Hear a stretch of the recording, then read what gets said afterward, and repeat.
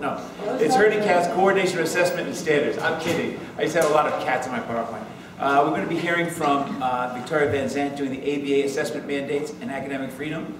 Uh, Sandra Simpson, avoiding assessment fatigue. I'm really interested in hearing about that. And we're going to start off with this uh, from Jennifer Spreng. Uh, suppose the class began the day the case walked in the door.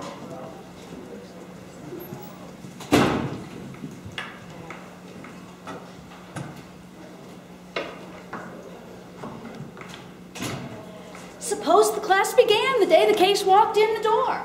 I mean, imagine this. It's the first day of the first semester of the first year. The professor announces that the class has a new client and she's coming in to meet for an initial consultation in a couple of weeks. And we have to get prepared for that. Okay, so that's our setting. Let's talk about meeting this client. You know, meet Lee Taylor. She's the woman. Oh, wait, sorry, no, uh, that's not Lee. Uh, that's an advertisement from Southern Living magazine for the fictional uh, blockbuster diet drug by prescription, Aspire. Uh, Lee is a 40-something mother of two who took Aspire, she was prescribed it by her doctor, so that she could lose that you know, extra 20 pounds before her daughter's wedding. The good news is Lee lost the weight, but she didn't attend the wedding. She was recovering from a heart attack brought about by a damaged mitral valve in her heart. A disturbing New England Journal of Medicine article um, showed pictures of a number of other Aspire patients and their hearts that also had the exact same type of damage as Lee. Wow. That said, the label for Aspire, the patient medication guide, the package insert, None of them mentioned that Aspire might cause heart valve damage. So the students start the course with a high-level overview of torts, especially including, oddly, product liability torts. They then move on to personal jurisdiction. In that time period, they are assigned to work in four-member law firms. Some of those law firms are going to represent Lee Taylor and her husband. Others will represent some of the defendants that will be identified. These plaintiffs' firms interview Lee and uh, uh, begin drafting a complaint. The defendants' firms meet with their potential clients and they prepare a joint defense agreement. Identifying defendants takes a little effort on uh, both sets of firm sides. Um, the actual manufacturer of Aspire is a company called Kimberly Robb Incorporated. But Aspire is, well, it's a one ingredient product. It's this drug called optimicin in a capsule. And optimicin is manufactured and formulated by a sort of a shadowy group of pharmaceutical companies in, uh, called the Andorran Pharmaceutical Group, located in the Principality of Andorra, which is sandwiched, between uh, France and Spain. Kimberly Robb even know anything about optimicin in particular when it uh, put it in its product? What about Lee's doctor? Did she, did she know it might be uh, damaging to Lee's heart? What about Lee's family pharmacist? And then students start to wonder as they've been reading their cases and begin working up the case. Uh, is it possible that uh, you know you can actually sue a pharmacist for filling a prescription when the pharmacist maybe knew that the drug was dangerous, when a physician actually prescribed the drug? How do you get information on whether Aspire actually causes heart valve damage and whether someone knew about that? What techniques can you use? And how much information do you need? Uh, is it possible for Kimberly Robb essentially to hide behind the fact that a doctor prescribed this drug if, they, if the company knew that the drug was damaging? Especially since, of course, they were out there doing advertising in Southern Living magazine, right? Straight to consumers. And how do you get jurisdiction in an American court over a bunch of companies from a place that I bet a lot of you never heard of? Okay? Well, welcome to Introdu Introduction to Civil Litigation, which is a first year 10 credit full year course that in an innovative way integrates torts and civil procedure, as well as this litigation simulation, And a lot of the instruction in the course is anchored in that si simulation, Taylor versus Andorran Pharmaceutical Laboratories. Okay? Um, the thing about the course that is uh, important for our perspective is that that list of items of various documents and activities that students would have done that I sort of blasted out on a, a couple of slides ago, those are all formative assessments. And they all occurred in an organized way, linked to actual doctrinal teaching in the classroom, a set of special workshops, and other more individualized instruction, they linked right into the course itself. And that's what makes that kind of course exciting. Now, I think these kinds of things may turn out to be in the 10 to 20 year future of, uh, in the 10 to 20 year future of our first year courses and formative assessment. They may be where we are going. And it may be interesting for us to think about, well, what might that mean? Okay? In the paper itself, there are really going to be two theses. One is that, uh, of course, this creates a very professionally authentic experience, even in the first year, where frequently it isn't. You can read the paper to find out all about that. Okay? I want to talk about the part that is the more pedagogically powerful aspect of anchoring so much instruction into a series of what are, in fact, linked formative assessments. Uh, you know, we've seen standard uh, 314 now multiple times. Schools shall utilize both formative and summative assessment. And if there's one thing that you take from this session, I'd like it to be this. Of course, that looks like the what? Formative assessment standard, right? And you'd think, well, that's a standard about assessment. I don't think so. Law schools have always been required to do assessments by the ABA, okay, but summative ones. In fact, the formative assessment standard is really a standard about teaching. And here's why. Obviously, formative assessment helps us as professors, okay, to improve our courses and to link our teaching to what's actually going on, sometimes very much in real time in the classroom. But what it also does is it gives students an opportunity to practice and learn in the process of doing things. That's a purpose of formative assessment also. And we've heard reference to this, but let me be clear. It also allows students to figure out, am I doing well or not? Or more importantly, am I learning what I need to learn? And sort of what might I have to do to fix that? When they see feedback from professors, that's one of the, that kind of information is important to students for that self-regulated learning function. But there's another part of uh, learning that we can sometimes forget about, but I've heard so many people talk about developing professional identity, and I think that this is an important thing as well. Students have to learn what are the standards in this profession for doing things. We have types of writing, briefs, we draft all kinds of documents, and there are profession-specific ways of doing that and standards for what makes that good and not good. And over time, students need to learn those things because, for one thing, in practice, they will not get feedback from professors. They'll get feedback in a much harsher kind of way. And they have to be able to learn to evaluate their own work. Okay? So, this is really a standard about teaching. And we probably ought to think of it, at least to some extent, in that way. Now, what's the teaching? These are the various assessments that uh, were in that kind of list that I sort of threw up on the other slide while I was talking about the litigation and the kinds of questions that students would be asking themselves in the early parts of the simulation. And they're in order. The course is two semesters long, so this is the first semester, and this is the second semester.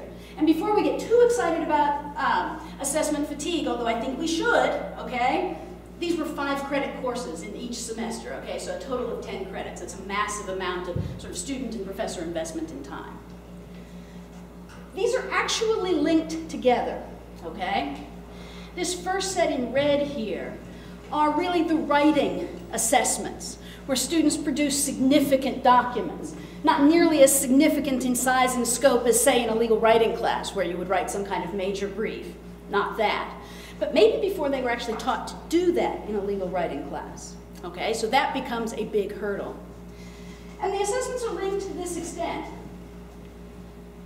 For example, in the first semester, this is a one-issue assessment. There's either personal jurisdiction or there's not, and there may be multiple arguments, but that's that.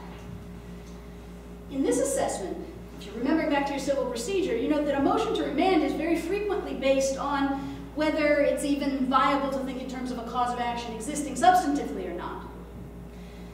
And so to determine whether um, a case should be remanded and to use that sort of procedural content, you have to go to the substantive question of, in that particular case, does, is there even a cause of action against a pharmacist for a failure to warn of dangers in a prescribed drug? Okay?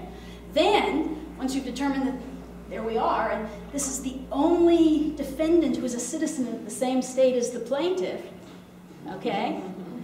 Then we determine, is there subject matter jurisdiction, should the case be uh, remanded or not? All right, so that's sort of a two-part assessment. So this is a step one and a step two, but they bring sort of similar types of thinking and structuring of problems, okay, working together. In the second section, they're very divided, but they're actually linked as well. The first is one of the few individual assigned, truly individual assessments, where the entire product is by one student. And that assessment is to write about what is the law of causation in these types of cases, provide several cases to students, and they sort of synthesize that law in a brief memorandum, all right, objective memo.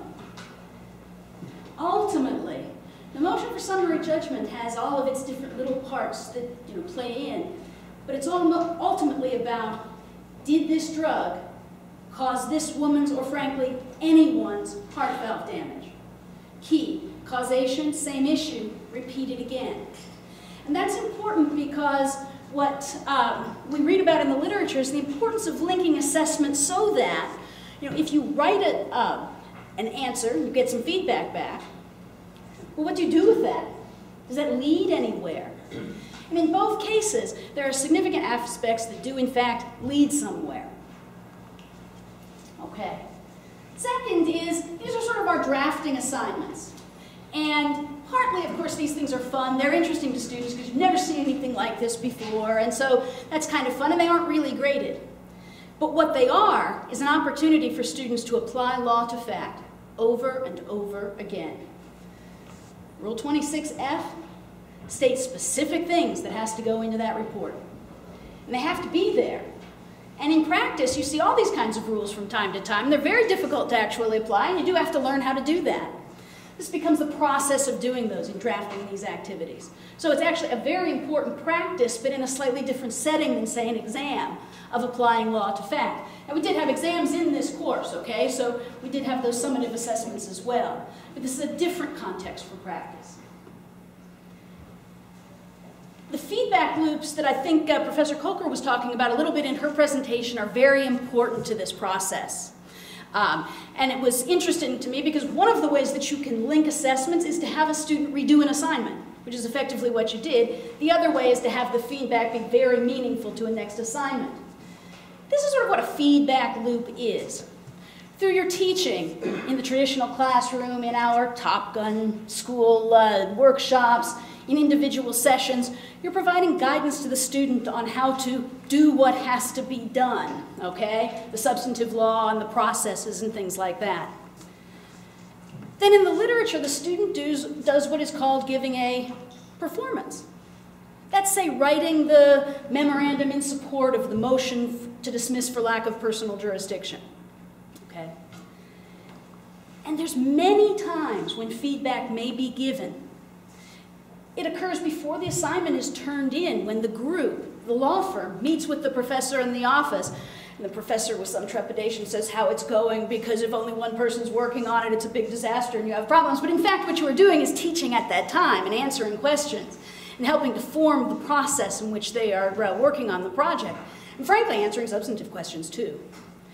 But also, they get feedback from each other. This is sort of the peer feedback bit. When you are putting together a document together and you're arguing about whether arguments belong in that document, I mean, that's sort of the quintessential peer feedback. We also had teaching assistants who were allowed to be involved with these projects. I think, in fact, they weren't very much, though they played other roles. Uh, And finally, the other type of uh, feedback is, of course, what the professor gives, sometimes copiously in writing after the assignment is turned in. Key. Students need to reflect on that feedback. It's really important for that feedback to be carried through to something later, for students to experience the difference between what I did and what my aspirations really should be based on the feedback I received. That's why it's important to have the new performance. Either the repeat of what was done, although in our particular case with a fast-moving course, what it ultimately ends up being is a new assignment that is linked so that some of the feedback is clearly relevant to the next assignment. Uh, but that's also why things like multiple activities is, are important. You see studies showing so six activities, eight activities is useful for, say, a you know, year-long course or something like that. And if we're doing it in law school, where professional preparation is also really important, it ought to be authentic. So it should be in a simulation. Maybe we get away from just assigning problem sets and things like that. Over time, we may see the benefit of moving in that direction to comply with multiple standards at a time. Okay? All I can say is this. There are all kinds of uh, circumstances in which uh, assessment supports learning. And if we think about those, dividing up the time during the term, focusing student effort at different points, providing many opportunities for feedback of the right type, including some that is very real time. I think it's apparent that uh, a practice-based simulation in even a doctrinal course can be a very appropriate way of doing so. Thank you.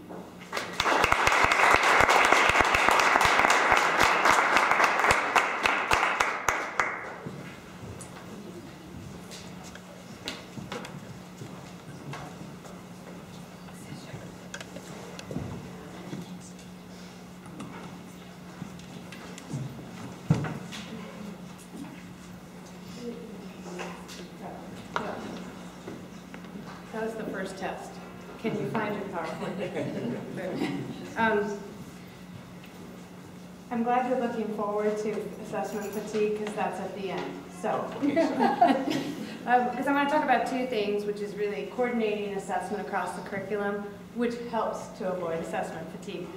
And it's really the view from the Associate Dean's desk. So I'll have to take off my co-director hat, put on my Associate Dean hat, and uh, I liken it to, uh, I think it was uh, Renee who said that giving a little piece of your personal life helps you to connect. I do it all the time in the classroom. I naturally talk about my kids or my husband or something.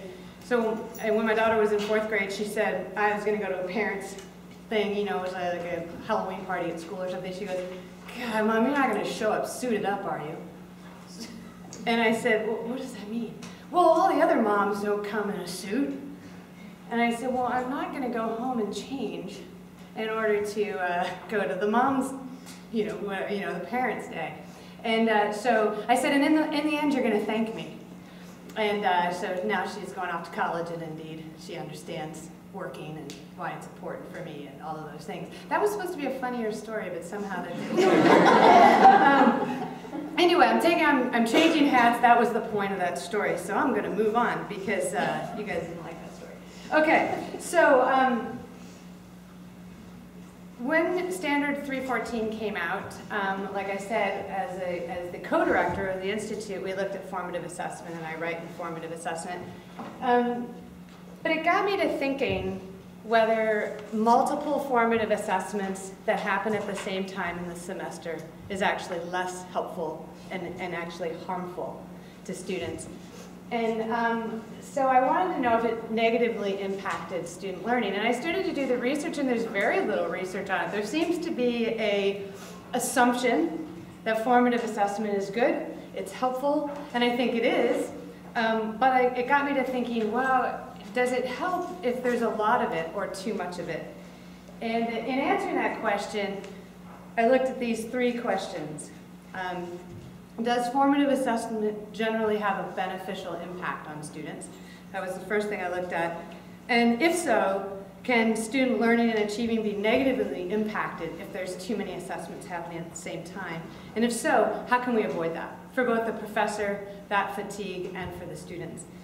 And, uh, and, and the main question here is, do we help students and are we helping students learn?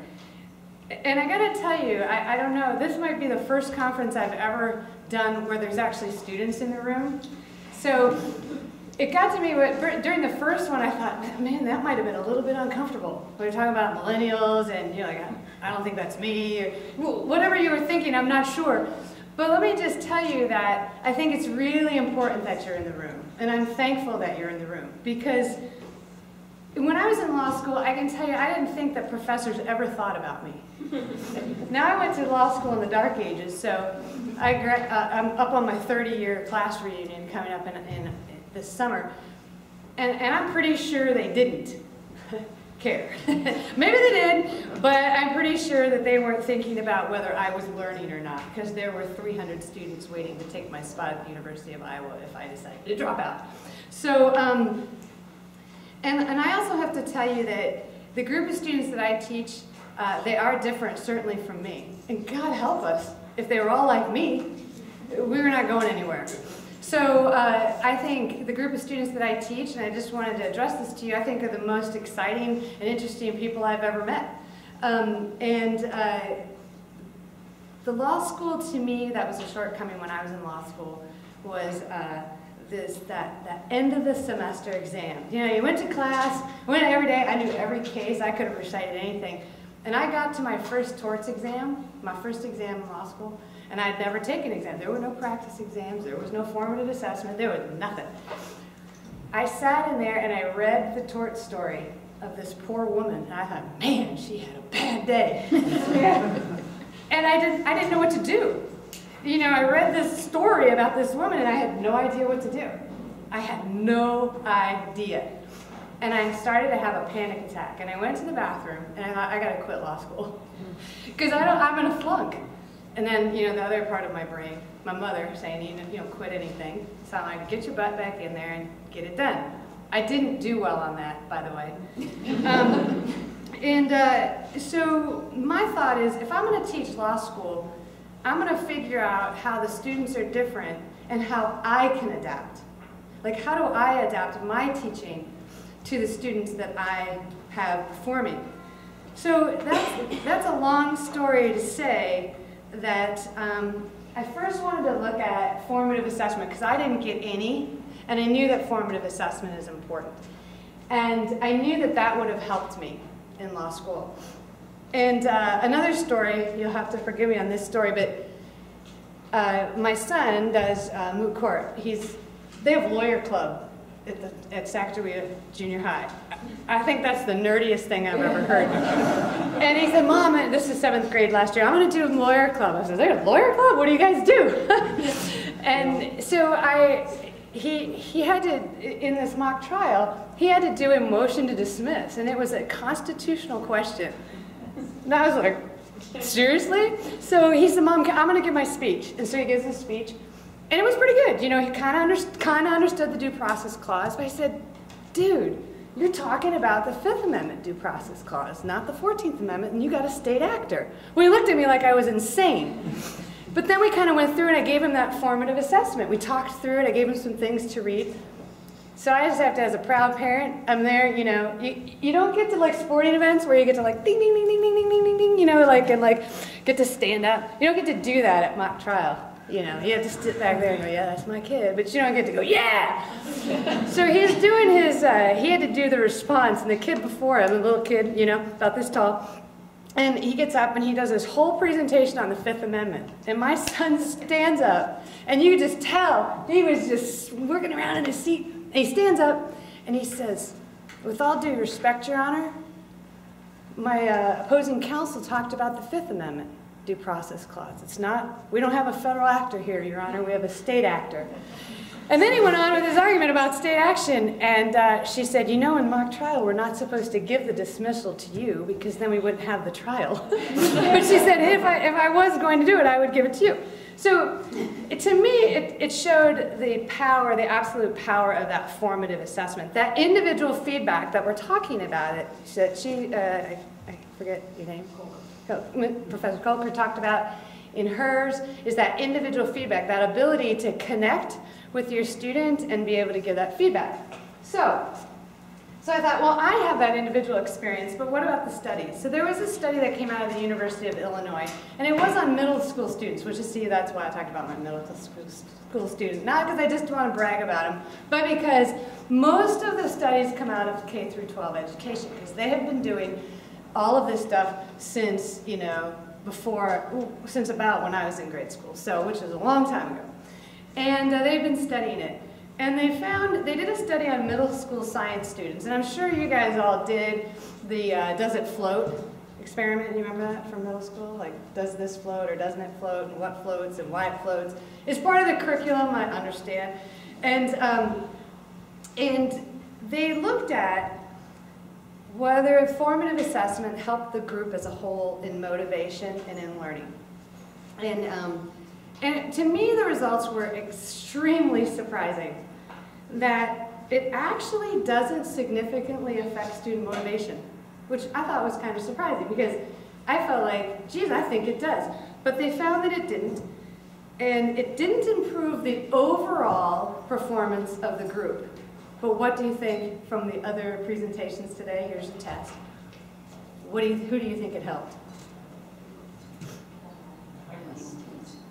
The low performing students. I don't know if I heard that because you guys were like mumbling. You're worse than my students. Um, maybe that was an easy question. You know, if you ask an easy question, no one gives you the answer. Um, it helped to it helped to bridge that gap because there's a widening gap between the high performing and the low performing. And formative assessment absolutely showed conclusively that it closed that gap. Helped to close that gap. And how, what was more interesting to me is how it closed the gap. How it closed the gap was making the students understand what it's like to be successful. What they have to do to be successful and how do they do it. it goes back to the story about how do you teach a kid how to play soccer? Do it better. God, I know. How do I do it better? So by giving them the tools, to have real success. If they, if they have real success, they become better, they have better conceptual ideas about education. So the study showed that they had those positive conceptual ideas about education. They become more task-oriented, learning-oriented students versus I just want to do better than the kids sitting next to me. And that single thing was thing that they decided that formative assessment helped those lower performing students. They became less likely to lose their confidence if they didn't do well on an assessment, and they became uh, more likely to believe they could do it, which goes back to someone else's, uh, uh it was yours. I was just in my like mind, I was thinking, because you had all the cool pictures on your PowerPoint, about the person, you know, thinking, I can do this. Uh, that's self-efficacy. Informative assessment shapes that self-efficacy um, by helping the students have more positive learning conceptualizations about themselves. I should note that when I gave this presentation to my faculty um, to help get some feedback from them, one of the faculty said, well, where on Bloom's taxonomy was this testing? Because he was postulating maybe it was testing on the bottom level Bloom's taxonomy and therefore doesn't apply to law students. Because middle school students are not law students. I get that. So I went back and I looked at the study and remarkably, they were testing synthesis, application, and evaluation, the top of the Bloom's taxonomy. So to, to say that just because it was middle school, that they're not testing high-level learning is not true. Uh, they were actually testing absolute high-level learning. So where does this bring us? So we know that self See, I have a cool picture too, right? No cats, but, um, but a mole, and, and that's good. So my question is then, if formative assessment helps, when it all comes at the students at the same time, do students become whack-a-mole? You know, just get it done, hand it in. I don't care if I learn, I just need to get it done because it's due and I have to get it done. Um, which is why I only have three minutes? Oh my God. Boy, I talked way too much. Okay, so the question is, is can we do too much of a good thing? And the answer is absolutely yes. And there was a study uh, published in the Studies of Higher Education. If you're interested, I can give you the citation later. And it showed that as the greater number of assessments happened, this was a college level, Um, they, uh, students showed a remarkable decrease in positive thoughts about themselves and others, which is not very happy. Um, reduce a lower interest and enjoyment in life. They had lower perceived competence. They had increased fear of failure. They have more depression, anger, frustration, confusion, and fatigue. And as you might well expect, that doesn't create good learning environments, right? So, as you know, I like circly slides, so we'll go through my little circly slides really fast, but how can we avoid this by our students? How do we avoid this assessment fatigue by our students? Well, we live in a culture dominated by midterms and finals. And uh, they all happen at the same time. And so I've, I've handed out to you um, the Gonzaga's outcomes. And uh, you don't need to, uh, I, I gave them to you for your information. And then the second thing I gave you, which was I think the more important process in the process, is once you've got your outcomes and your competencies, mapping your curriculum.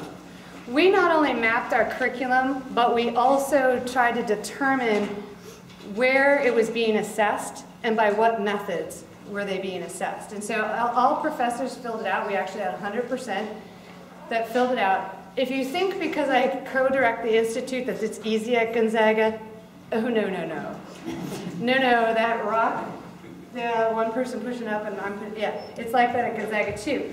And so what I'm going to do with that data when I have it, we're just mapping the curriculum now, is once I figure out, don't give me the stop, I can't do it, not yet. Oh, I got one minute, okay, perfect. Um, all right, I'm going to ask some time to, uh, for, to conclude in a minute. Um, so once I know who's assessing what, and once I know where outcomes are being assessed, there's a couple of things the associate dean can do. One, the associate dean can say, why are we over-testing this outcome? Why are we assessing this outcome in every single class? And maybe we have to, but maybe we don't, and it's a conversation we have. So I'll have my first year professors get together and talk about what they're assessing, when they're assessing it, and how they're assessing it to make sure that we have across the board assessment of our outcomes and not an over assessment of those outcomes. Also, um, and that's for my one-out professors and my required courses. We also are going to engage in talking about having multiple low, don't put it up, I'm okay. uh, multiple low stakes assessments throughout the semester. Therefore, they're not all ending up at the same time. And so my goal is to have a whole spreadsheet dated about when all the assessments are. There's some value to students having to take multiple assessments at the same time, but not every assessment for every class in the same week or in the same day, um, particularly for midterms. And so, my last slide, see, and then I'm done. Um, combating fatigue by the professor, I'll, I'll close by saying we really only, if, we, if you go back to understanding, we, we assess what we value. We assess what we value. We don't have to assess everything. We assess what we value. And so when we value something, we can put the time in. And so my suggestion to professors when they say, I just can't do anymore. Well, yeah, me neither when I was asked to uh, chair some committee for my daughter's school, I'm like, do, they meet between 12 and 5 a.m.? Because if they don't, I don't have any time. And so I know what it's like to have fatigue. But the point is, is figure out what's important to you in your classroom, assess that, use formative assessment for that. And lastly, cultivate that, that ethos of positive restlessness. When we are restless in what we do, we are continue to be motivated to do so. So anyway, thank you.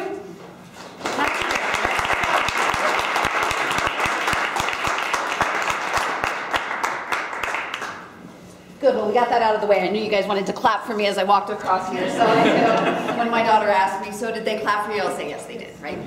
So, I mean, really hard to be the pinch hitter here coming in right before lunch after these two women are very engaging. And so I hope I um, don't bore you to tears with this very enlightening um, presentation on the ABA assessment mandates and academic freedom. So, I have been talking about assessment for many, many years, and um, before 2014, when the new assessment mandates came out, I used to be kind of seen as the harbinger of evil. I would come in and talk to faculty and they'll go, it's never gonna happen. The ABA would never do that to us. And so I'd get all these dirty looks. And then when 2014 came around and I was like, and here's how you do it. So I became then the angel of mercy of telling people, look, I can save you from this. I can teach faculty how to do this.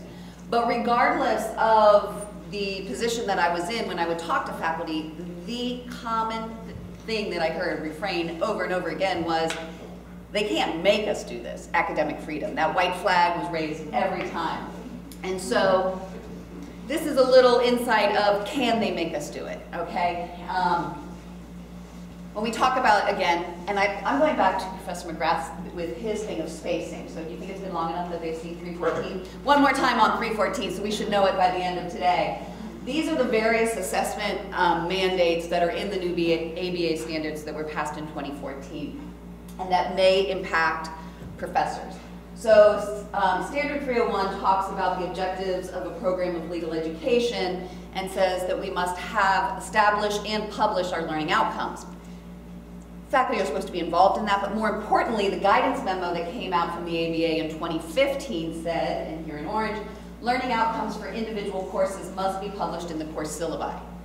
I remember when I first told um, some of our professors, and at Dayton, same thing as at Gonzaga, um, she said, you know, the faculty that pushing up the hill, as I always say, people will go, God, you guys do great stuff at Dayton. I'll be like, yeah, there's two of us. And no, you know, the more faculty are on board, but really not that many. So, um, you know, when I told some of the faculty members, you're going to have to have the learning outcomes in your course syllabi, he said, well, I don't even have a syllabi. What do you mean? He goes, if someone asks me to give them a syllabi, I'm going to take the casebook that I wrote, go up to the copier, and photocopy the table of contents. That's my syllabi. So actually asking professors to put the learning outcomes in it um, has been somewhat of a challenge, but we're doing it. Um, the other things that will impact uh, faculty is 314, which we have talked about, having those formative assessments.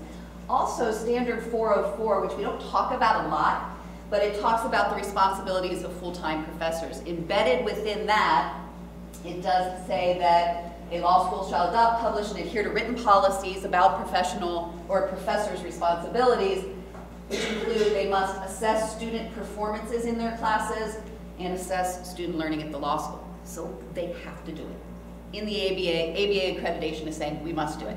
So then the question becomes, does that violate academic freedom? Here's where it gets really fun, right? Okay, so what is academic freedom? I thought that was an easy answer. Not so much. Um, the definition of academic freedom in and of itself is very murky.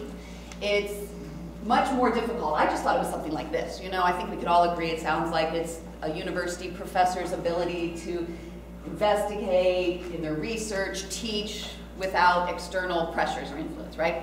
Freedom to do that, that's why it's called freedom, right? Not so much. Um, when I went to find out what it actually means, again, the definition's unclear, and to who it actually belongs was even more unclear, which I found to be very interesting. So sources of academic freedom. Um, the American Association of University Professors back in 1950 articulated um, what we know to be academic freedom. What is that common knowledge of academic freedom? They also reiterated it in 1940. In a very quick summation, it comes down to three elements. It's freedom of inquiry and research, the freedom to teach, and the freedom of extramural utterance and action. One thing that the AAUP was very um, explicit about was with these rights came correlative duties.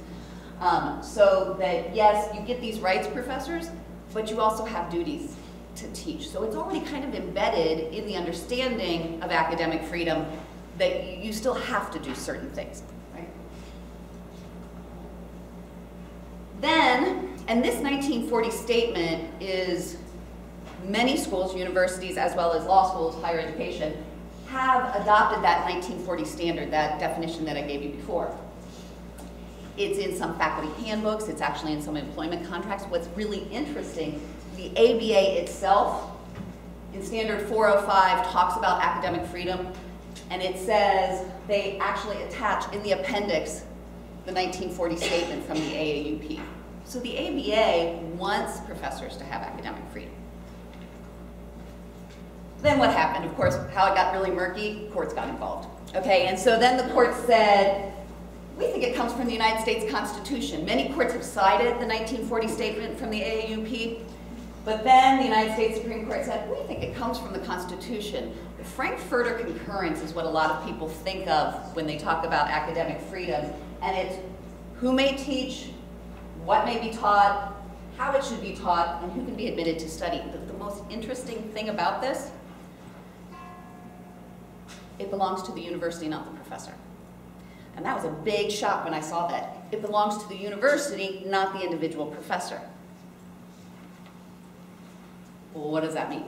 Okay, what are the other problems with us rooting it in the United States Constitution?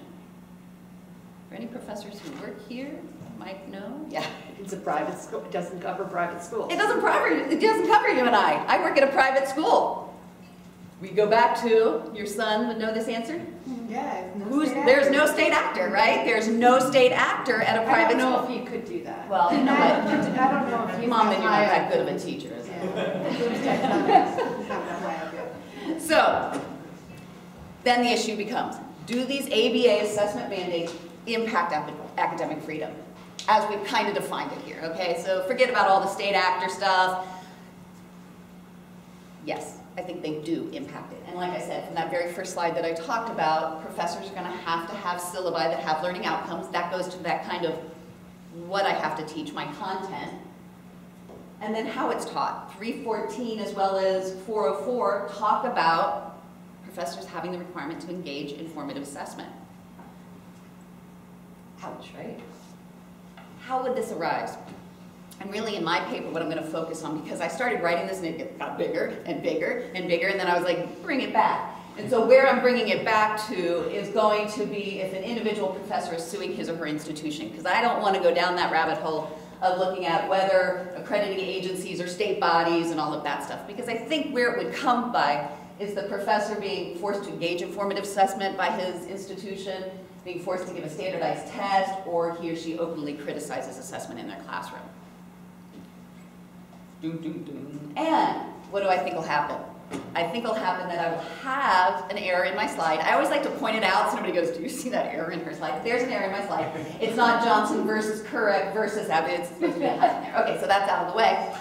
But the, what will happen is the institution wins. It's called academic extension. In Grutter versus Bollinger in 2003, um, the US Supreme Court kind of laid out this idea that when it comes to pedagogical decisions, we defer to the experts, the institution, not the individual faculty member.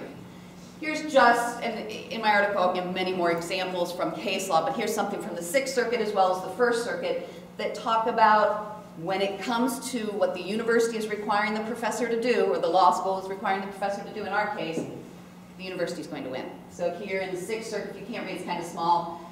Freedom of a university to decide what may be taught and how it should be taught, Frankfurter concurrence, right? Would be meaningless if a professor were entitled to refuse to comply with university requirements whenever they conflict with his or her teaching philosophy. Ouch, right? Um, Third Circuit, same kind of thing. We conclude that a public university professor does not have a First Amendment right to express via the school's grade assignment procedures. So they are saying that here, I can't tell you that you have to give students certain grades. You have your right to say no as a professor. I can come in as a university and give those grades myself though. So I'm not going to make, I'm not going to impinge upon your freedom to say that, but as the university, I've got to give the grade that I think is appropriate. So I don't think people would win if they try to bring an academic freedom claim against their university regardless. But again, I always like to leave on a high note. It's kind of that Shaun Harper's anti-deficit model. Let's bring it up on a high note. So what can we do to make sure that we don't, as institutions, impinge upon faculty members' um, academic freedom rights? First, when it comes to that first standard 301 in the guidance memo about requiring professors to have learning outcomes, it's a shared responsibility in assessment. I joked when I said it was just my colleague and I doing assessment. When we sat down to write our learning outcomes, we surveyed all the faculty numerous times to say, look, you need to be involved. You are living and breathing this. We are not imposing these learning outcomes on you. We want everybody involved because at some point you're going to have to create some that are going to go in your syllabus that are going to have to somehow align back to the original institutional ones, we want to make sure that you have a voice. So really having faculty in at the ground level with shared responsibility. Then about how it's taught in the actual classroom. Foster innovation and experimentation, avoid standardized assessment, and clearly define expectations. So as an institution, if we're saying to faculty, hey, I want you to try this, do a year-long course, you know, on one simulation. And what if your, you know, your evaluations are horrible? As an institution, we need to back people up and say, you may fail at formative assessment, and that's okay because failing is learning, but you're trying, you're trying to be innovative. And we're not telling you have to do it in a certain way, we're supporting you in your innovations. Please don't make faculty members give a standardized test, you know, that everybody must adopt this in their first year course. Give faculty the freedom. They know their content, they know their subject matter, and we are all learning to be better educators. So while we're learning, let us experiment, let us try different things. And then clearly define the expectations. Um, you know, in our faculty uh, report back to the dean, you know, for the last several years, they have asked us specifically, what assessments are you doing in your classroom? So it's been a great thing to, so we know that's coming again next year. Every faculty member knows, so you've got to have an idea of, these are my assessments. So at least there's not this surprise of, oh, you wanted me to do that? So set out clear expectations. I want you to try something, and I'm going to give you the freedom to do that. So I said I'd make it um, nice and short and sweet so that we would have time to do the rest of this.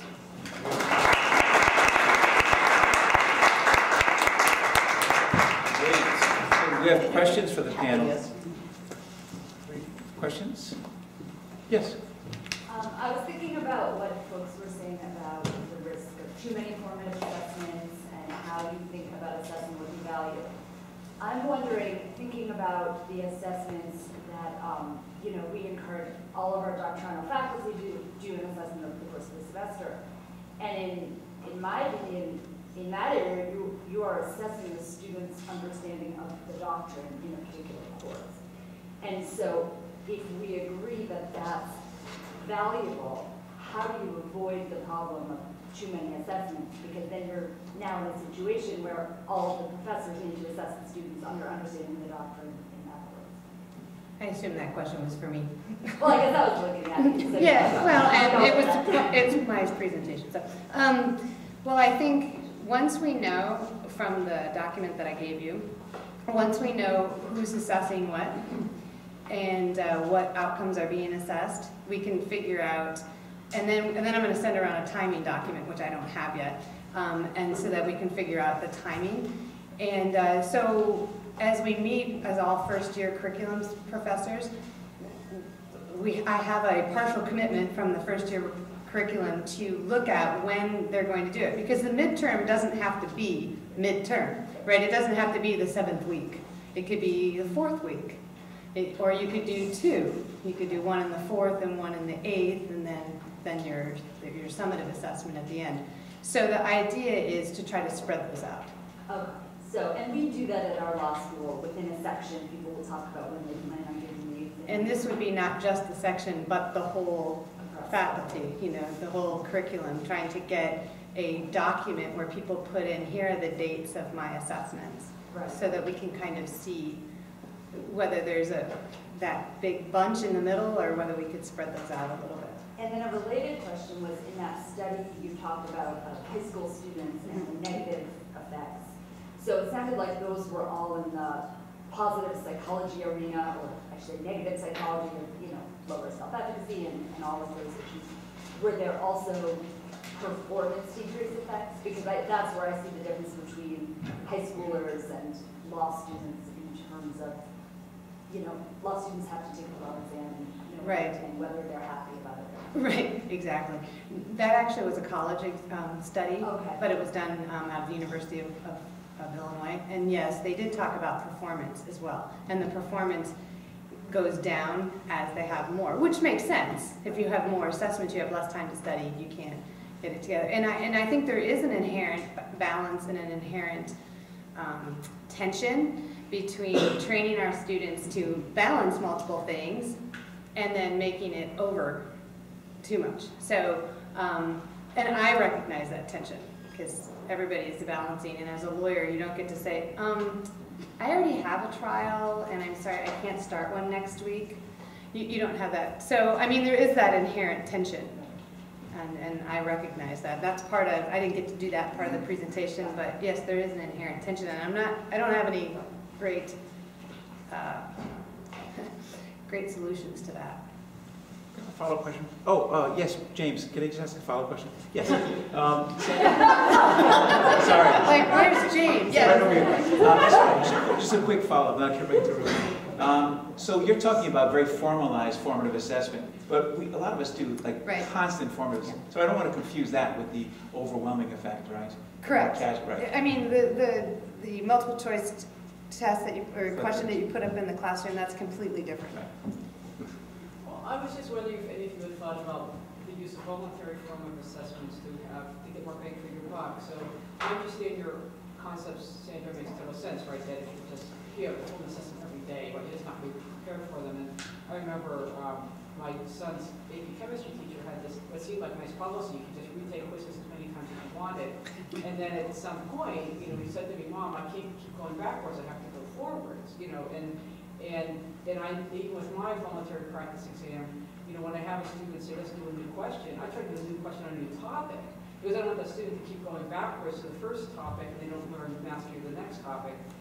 So, so listening to all this and thinking about my own children's educational experiences and the law students I've taught over the last thirty-two years, I, I'm just wondering whether it might make more sense, uh, instead of doing all this complicated mapping, to say to a first-year student, for you should do two formative assessments in the spring semester or in the fall semester.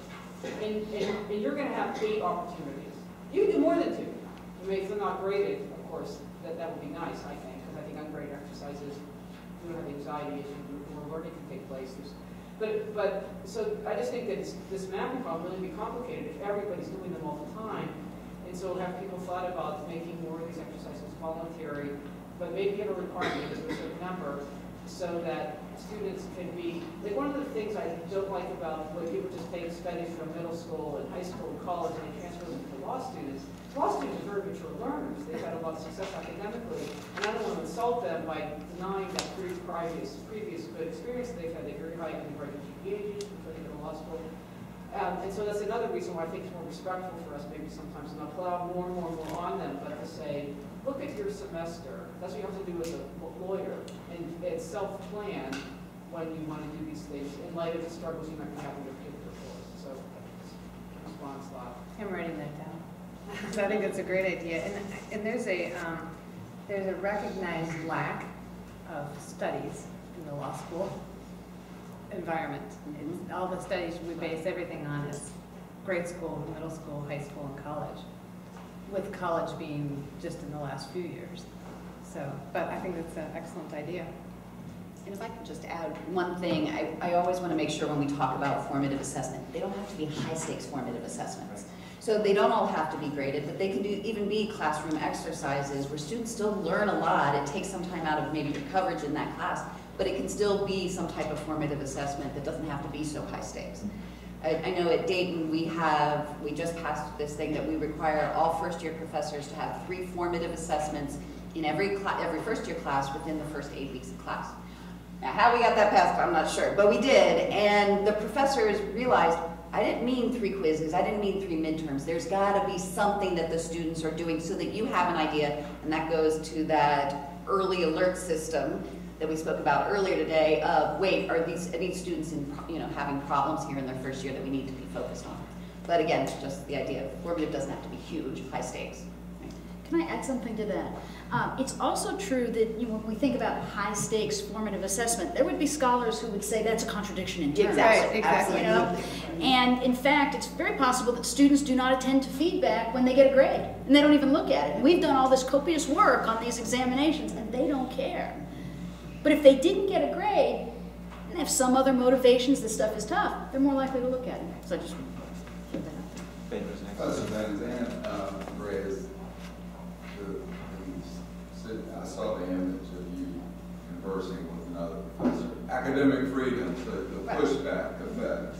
And I don't know if we talked about that a lot. And I'm wondering, do you think it's more effective to just uh, to talk to the faculty about how formative assessment, summative assessment, the program learning outcomes are better teaching, better education, rather than the ABA is making us do it.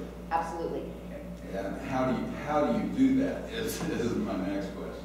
When, when I go out and if I talk to faculty, I always start with the room of, we're all sitting here and we have one thing in common. We're all educators. And as educators, what we want to, we want our students to learn. So now that we have that out of the way, we all want to do that. There's some evidence that shows that assessment helps our students become better. So don't do it to get the check mark for the ABA. I really don't care. Do it because I care with that student right there, that's what I get paid to do, is make sure that student's the best student that he or she can be and learn something out of my class. So it's really, I try to step away from that get your check mark from the ABA, because everybody, you know, when we started having those discussions about our faculty had to have three formative assessments, you know, it was just like a student, how low can I go? How can I game this system? What's gonna count? You know, how many words do I have to grade? And, you know, so it was, don't do it for that purpose, don't do it for that, do it for the ultimate purpose, which is to improve our students' learning. So that's where I try to come at, that's the tack that I. Well, if I can follow up on that, um, most of the studies show you really only need one and maybe two um, substantive formative feedback in one semester to really affect student learning. So you don't need lot, a lot, you just need one solid piece of formative assessment for them. And I, when I talk to my faculty, I always go back to we monitor what we value, we assess what we value. And if you value the learning and you value improving the learning, that's what we're doing. Um, but it sounds easier than it is.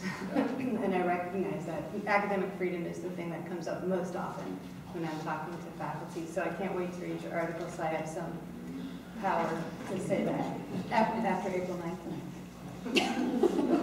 That's when all of our papers are due. I'm just gonna bring one study to your attention, There was a nineteen eighty-one study by Gary Negin, in which he actually found that cumulatively, the more opportunities for formative feedback continued to have a more positive effect. Um, and his study was from a law school environment, there are very few studies from a law school environment, it's from nineteen eighty-one, so an older study, no study's perfect. But, um, I think it does, you know, in my study, our students all had had all sorts of other opportunities for formative feedback that weren't part of our study, but yet we found the additional decision by the student, of course, was voluntary right to do my formative assessment, did have a positive effect on their learning. It would be unfair to say that that was their only formative opportunity that year, because that is just not the case. We require a midterm and fall, and we do all these other things at my law school as to other law schools. So I, I, I certainly think the idea of student feedback, I mean, student fatigue is, makes sense. I, I, I can imagine that's true. I'm not sure that there's data from the law school environment showing that we're at that point yet, but we can document that's actually happening. So I think I've heard this morning that formative assessment helps the higher end students more, and I think I've heard that this morning that formative assessment helps the lower end students more. So I'm confused. I think it depends, honestly, I think it depends on the type of formative assessment you're using. I think, I, um, I think Dr. uh, Noble, thank you. I can only see the N-O, so I knew it wasn't Dr. No, which would be cool if it was. Um, I believe when he was talking about the, the metacognition type formative feedback, when you have um, a rubric and you have a sample answer, that tends to work better in the upper levels. The one where you have, you call it tutor, I assume you're called the tutor? Yeah. Um, The professor feedback or the upper division student feedback, that tends to help the, the lower um, performing students. So I mean, I think it depends on the type of feedback, the, the, the type of assessment that you're giving. Does that help? That helps. Okay. Any other questions for our panel? What's on the menu today? Well, Are we, uh, with our questions? Well, let's thank the panel once again then. and-